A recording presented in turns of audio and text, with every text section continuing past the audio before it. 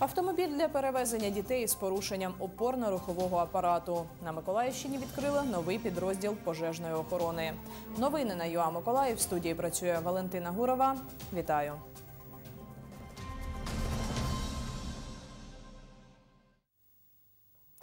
Державна реабілітаційна установа Центр комплексної реабілітації для дітей з інвалідністю Мрія отримала автомобіль Peugeot для перевезення дітей, які мають порушення опорно-рухового апарату. На Миколаївщині таких машин вже сім.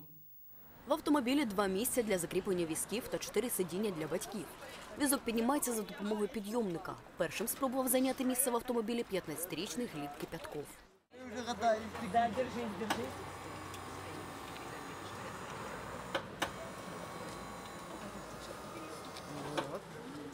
Поднялась.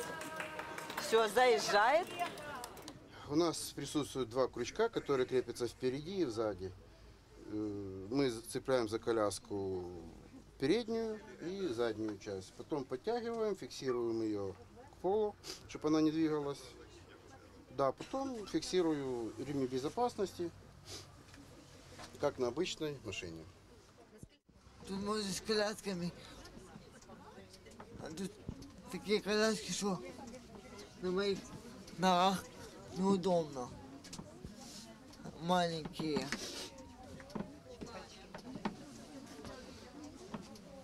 А з твоїм візком зручно тут? Да. Хлопець займається у центрі з 2005 року. Відвідує його щодня. Ходить до логопеда, психолога, реабілітолога та інших спеціалістів. На візку з дитинства. Раніше їздив до центру машиною непристосовною для потреб сина, говорить мати Гліба Дар'я Кипяткова. Е, Так само е, е, маленькою машиною, яка тут була, ну приходилося виходити з- під'їзду на, інвалідному візку, там пересаджувати ре- ре- дитину у ту машину, яка була, і потім доїхав сюди, виходити з машини, брати ще одну коляску запасну, і після цього тільки можна було заїжджати в этот лів. Якщо ламалася та машина, то приходилося їздити своїм ходом, чи тролейбусом, чи автобусом, який низькопольний. Ну дуже тяжко було. Вважаю, що коли буде ця машина вже працювати, то буде набагато легше. Допомагатиме дітям піднятися до автомобіля Сергій Іщенко. Чоловік працює водієм 20 років. Каже, має добрі відносини з усіма родинами, які перевозить. Забирает она, кажд- будет забирать каждый день. Забирати вона буде кожен день з 8 і до 9, і забирати з центру з 13 до 14. Це діти, які не рухаються, ті, що їздять у візках. Я буду сам їздити, сам буду допомагати, сам буду обслуговувати інвалідів, допомагати їм. Щодня центр реабілітації відвідують близько 200 дітей. Для нас це нова справа. Такого ще автомобіля не було, але ми будемо його використовувати так, як це потрібно, максимально, максимально правильно, грамотно в інтересах дітей. Е, Ну, це все буде трішки пізніше. Треба його ще отримати, скласти графіки, що теж, теж дуже непросто. І вже е, стосовно цих графіків, вже формувати оці, оцих діток і щоб вони приїжджали на приїжджали на реабілітацію. Вартість одного такого автомобіля складає 1 мільйон 200 тисяч гривень.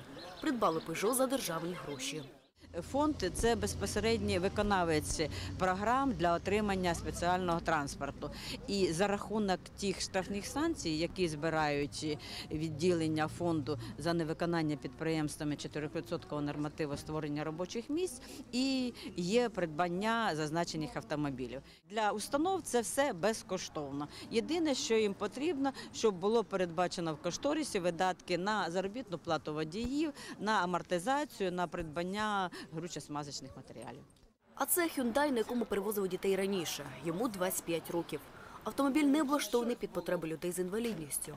Батьки самостійно заносили дітей до машини.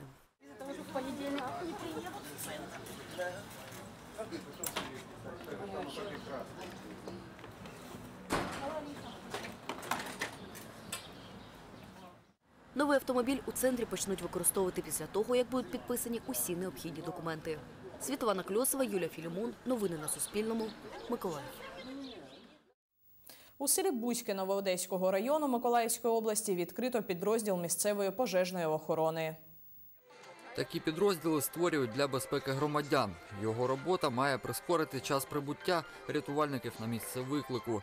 Тепер про безпеку населених пунктів Бузької, Димівської, Сухої Ланицької, Антонівської та Дільничної сільських рад, окрім професійних рятувальників, дбатимуть і добровольці. Зараз в підрозділі шість бійців. Вони будуть розбиті на бригади та чергуватимуть по 24 години. Попередньо ці люди пройшли підготовку у складі 21-ї державної пожежно-рятувальної частини. На сьогоднішній день вже в нас є майже все. Є в нас автомобіль, є все знаряддя, навіть є піна, і якщо буде потрібно, теж примінимо. Так що ми почти, як по-українськи майже, бойова частина. Сьогодні розпочне третє коло регулярного сезону Суперліги муніципальний баскетбольний клуб Миколаїв. У виїзному матчі корабели гратимуть проти сусіда по турнірній таблиці Запоріжжя. Суперники зіграють між собою втретє у сезоні. У першому турі у Запоріжжі господарі завдяки американцю Брендону Рендольфу, який набрав 29 очок та зібрав 12 підбирань, здобули перемогу 84-73. 28 листопада команди зустрілися у Миколаєві. Тоді свій другий матч у складі корабелів провів атакувальний захисник Квентін Петерсон. Саме американця визнали найкориснішим гравцем зустрічі: 37 очок, 8 підбирань, 5 передач і стільки ж перехоплень. Гра завершилася з рахунком 96-81 на користь миколаївців. У 2020 році корабели зіграли дві гри, запорізьці одну, і у жодній команди не зуміли перемогти. У турнірній таблиці суперники розташувалися поруч. Запоріжжя сьоме, 5 перемог і 12 поразок. Миколаїв восьмий, 5 перемог і 11 поразок. Матч відбудеться завтра у Запорізькому палаці спорту Юність. Старт о 18.00.